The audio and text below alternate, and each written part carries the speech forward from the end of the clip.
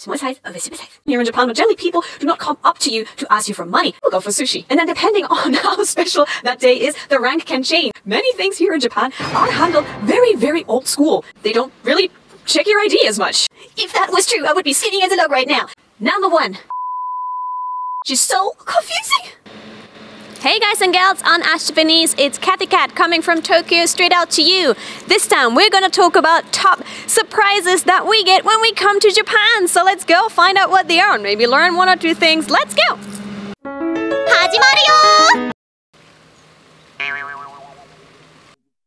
We're gonna count down from seven, so let's start with number seven. America has super size, Japan is mini size. Simple products that you might know for a certain size are actually a lot smaller in Japan. So, for example, Haagen-Dazs is actually, you know, small and petite, kind of cute. And that's not the the big packs with the single cells. No, this is actually single sale. So, get a tiny little portion here.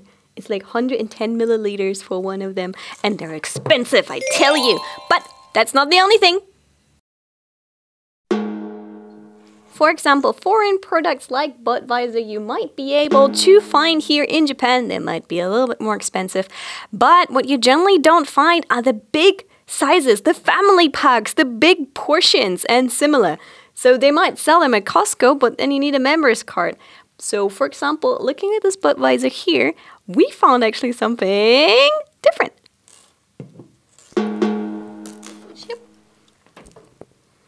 Like I told you, for everything in Japan, there seems to be a super size, like a super beer size, and similar things like that. When we interviewed people here on the streets of Tokyo, many Japanese people said they cannot finish Western portions. So when they travel to Hawaii, America, and similar, they generally can only eat half the plate or maybe one fourth or they share it with friends because Japanese people are not used to the same super sizes, big portions as such. Of course, there are a couple of places that sell them, but generally they are not as easily available. So, yeah, small size over super size. There is a broad variety of miniature items here in Japan and miniature foods, and there's even miniature little food stores and candy stores you can eat or play with. There's a great variety, and you can find those just by going into a normal supermarket. But if you think about it, even though the size is different, in the UK they call it fun size, kind of smaller, the flavor doesn't change. So, you know, it's still just as tasty. There is said to be another reason why these ones are so small. So, for example, if a salaryman on his way home wants to have like the odd little beer and maybe buys it at the convenience store just before he leaves work, so he has the chance to just put this into his pocket and it won't show that he already has prepared for his afternoon.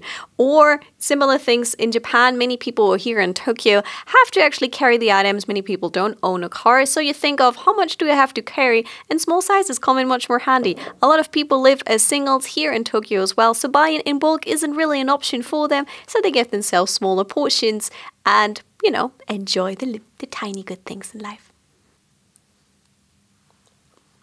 NEXT Number six, people on the streets don't ask you for money.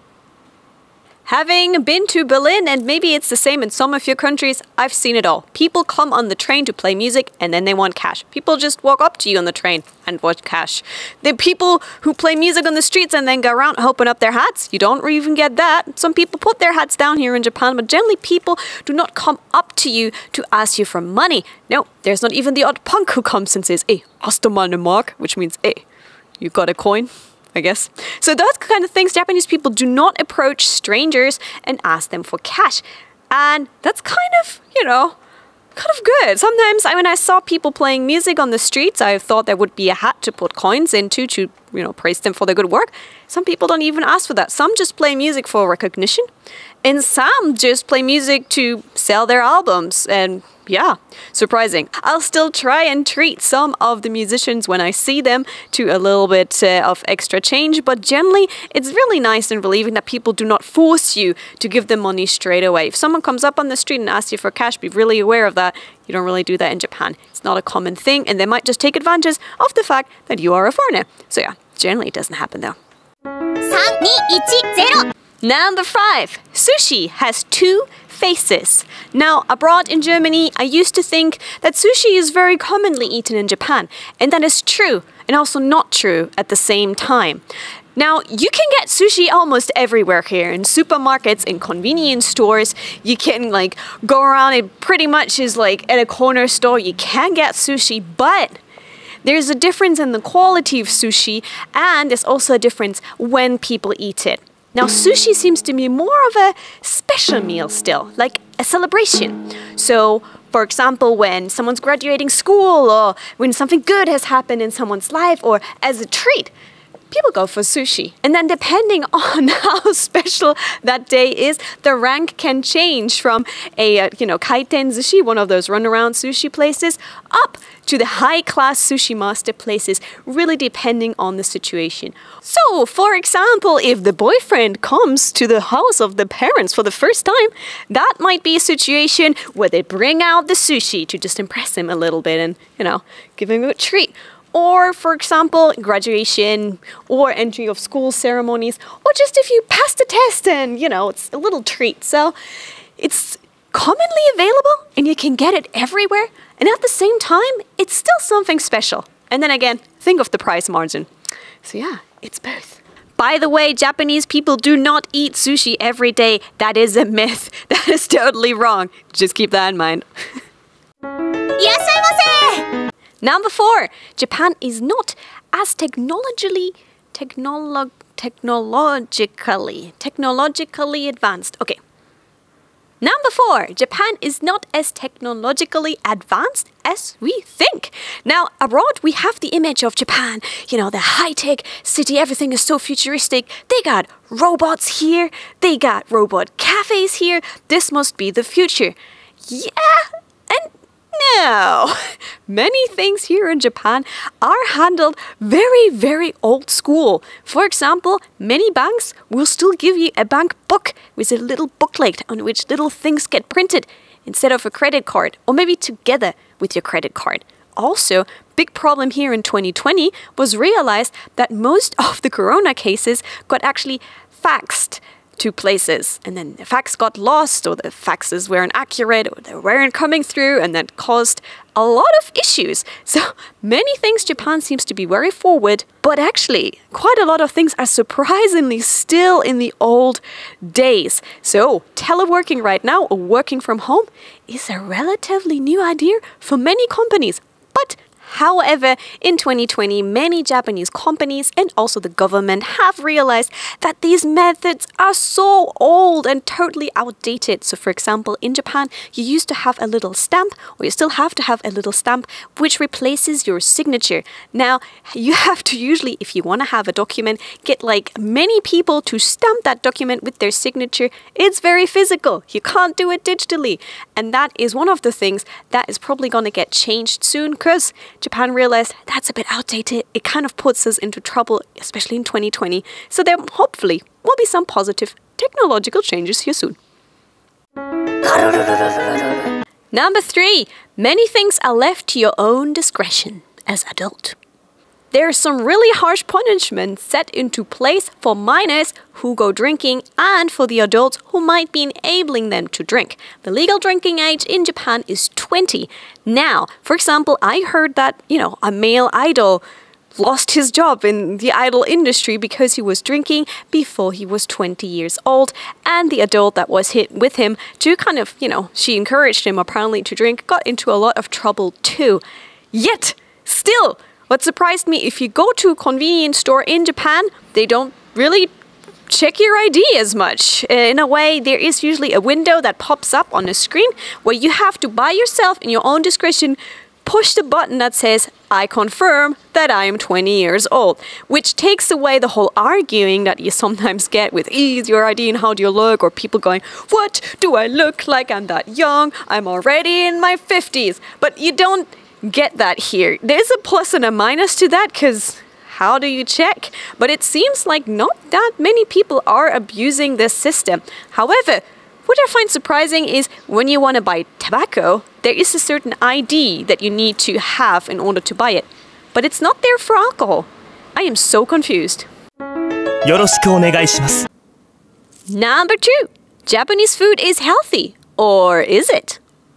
Yes, yes, Japanese food is so healthy with all the vegetables, less oil, the fish, and the rice. So healthy, so healthy. You will never gain weight.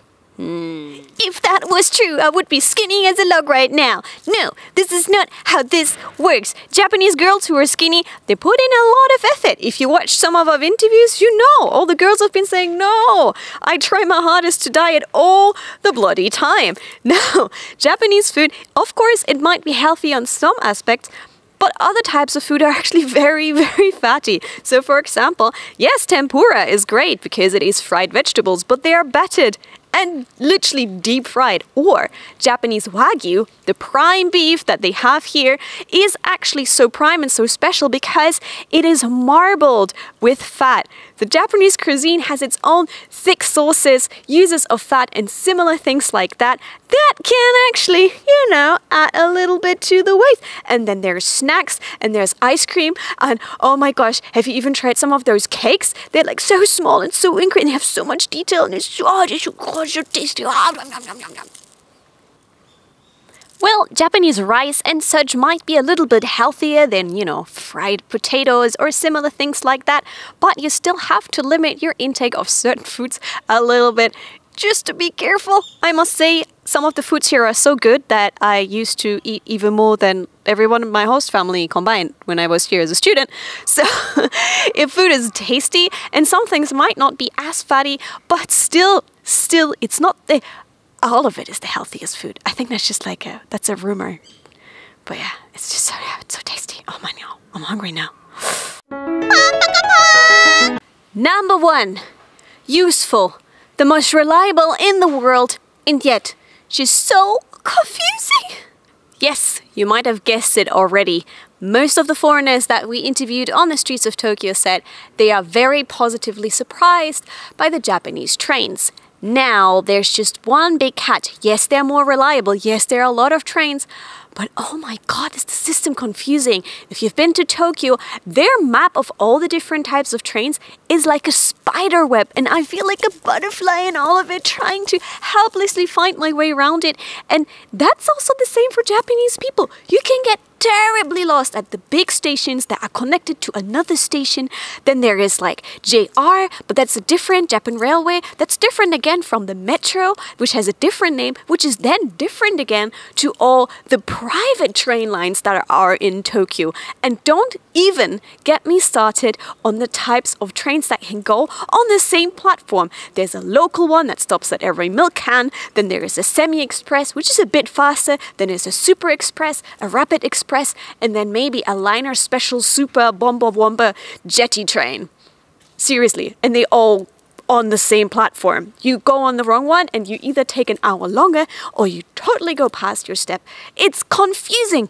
Yet, little by little, I learned the tricks of how to make it there my hand my big hint is get yourself an app. Usually the apps will tell you on which platform what train leaves and it will also calculate where you have to change trains in order to make it on time to the location you want to go to my pro tip also if you walk here in Japan is always try and leave 30 minutes earlier, be there 30 minutes earlier, check everything in advance because even with the apps, you might be going to the right place station and platform and then you might get lost inside the stations because the stations can sometimes be very confusing. So give yourself a little bit of extra time when you really want to be on time. Told you, Japanese people love being on time. And then you can master the Japanese train Jitsu.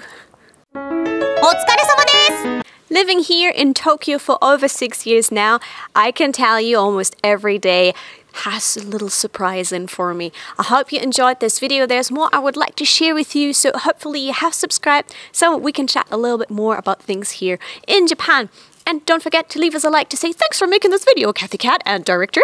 And I'll catch you soon for more videos here on Ask Japanese. Thanks for checking in. See you soon. Bye! Woohoo!